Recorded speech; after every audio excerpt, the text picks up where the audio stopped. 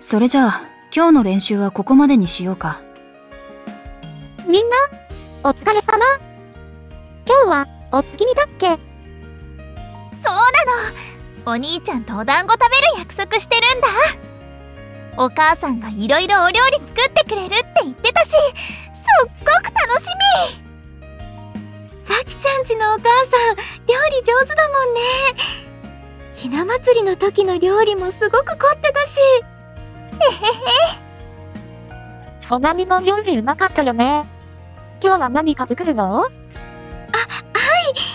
私はお月見にちなんだ料理とお団子を作る予定です。へえ。みんな結構しっかりやるんだね。私ももうちょっとちゃんとしたお月見しようかな。あれ？ミッキーは何か作ったりしないの？うんお団子を買って家でのんびりするくらいしか考えてなかった。あら、それもいい過ごし方だと思うわ。自分なりに次を楽しむっていうのもいいんじゃないかしら。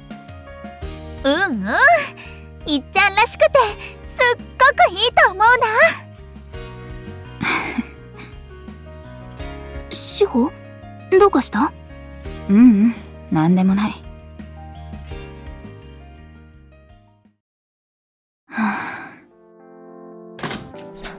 あら、シフォまだ残っていたの？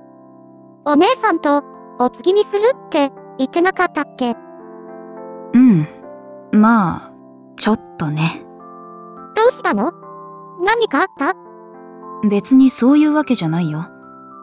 ただちょっとお姉ちゃんのことを考えてたんだ。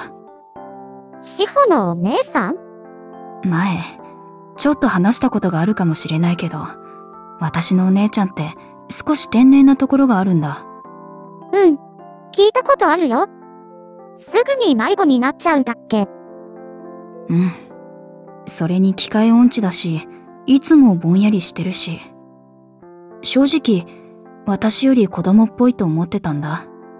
でも昨日お姉ちゃんの頑張ってる姿を見てそうじゃないって気づいた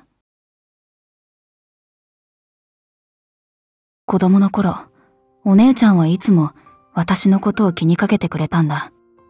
悩んだり寂しいって思うより前にお姉ちゃんが声をかけてくれてて。多分私が気づかないうちに甘やかしてくれてたんだと思う。そんなことに今まで気づかなかった私の方がなんだか子供っぽいなって思って。すすシフォはお姉さんのことが大好きなんだね。大好きっていうかはわからないけど。でもすごいとは思ってるかな。そうなの？うん。お姉ちゃんはアイドルなんだけどプロの世界で頑張ってるんだ。苦しいこともたくさんあったはずなのに私の前ではいつも笑顔でファンのみんなに希望を届けるためにどうすればいいのかって今も一生懸命考えてる。そんなお姉ちゃんを見てると叶わないなって思う。素敵な人なのね。昨日考えたんだ。お姉ちゃんが私にくっついてくるのってもしかして甘やかそうとしてるんじゃないかって。高校生にもなって恥ずかしいしさすがに人前ではやめてほしいけど。でもあれもお姉ちゃんなりに私のためを思ってやってたのかもって思ったらなんていうか。私はお姉ちゃんのために何もしてこなかったなって感じて。シフォ。す、私はそんなことないって思うけど、え？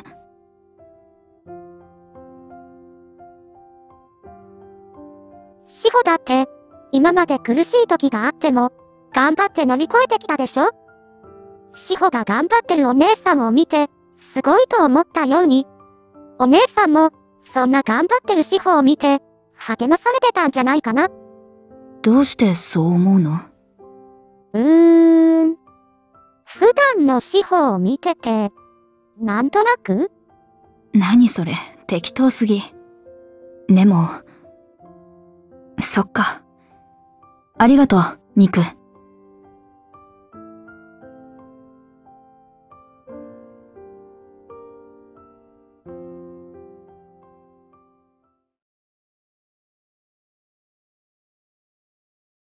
あ、お姉ちゃんが私を見て励まされてたか。